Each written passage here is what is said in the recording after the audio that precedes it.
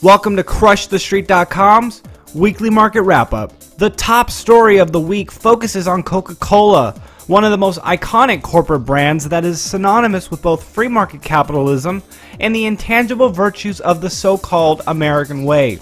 Analysts from Nomura Securities raised their share price target from $51.50 to $54 suggesting that the world renowned soft drink manufacturer has the potential for a leveraged buyout in a similar vein to last year's Heinz acquisition by Warren Buffett's Berkshire Hathaway and 3G Capital Management. Should such a deal take place, Nomura estimates that a share price target of more than $90 is reasonable and that under an LBO, a revitalized Coca Cola could potentially quadruple its market capitalization, which currently stands at $180 billion. This may be welcome news to long term investors who recently took a hit in their portfolios when Coke's most recent quarterly performance showed a drop in earnings per share by 11.1% against the same quarter a year ago. The company has slogged through a declining trend in this key metric throughout much of this year, a victim of revenue underperformance against the industry average. Share price dynamics became particularly volatile in mid to late October, losing 6% of valuation on the 21st. As it stands, Coke is barely in the black year to date, up around 3%.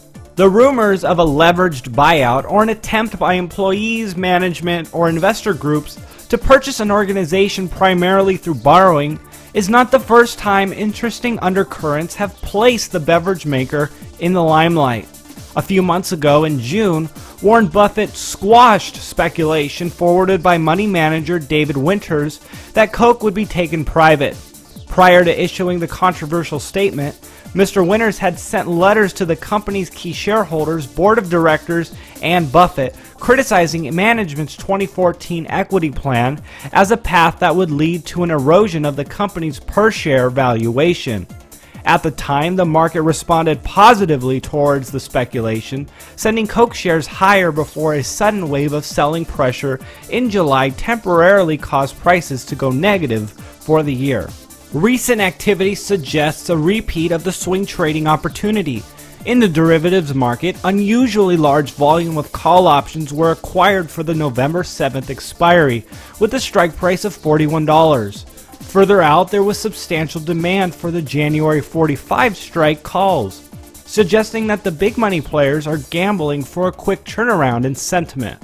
With so much keen focus on the iconic brand, everyday investors may want to place Coca Cola as a primary consideration.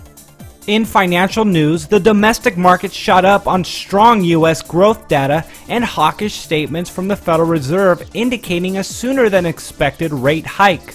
The Dow Jones Index benefited the most, adding 221 points to close Thursday at 17,195 while the S&P 500 gained nearly 6 tenths of a percent to come inside 6 points of the 2,000 point threshold.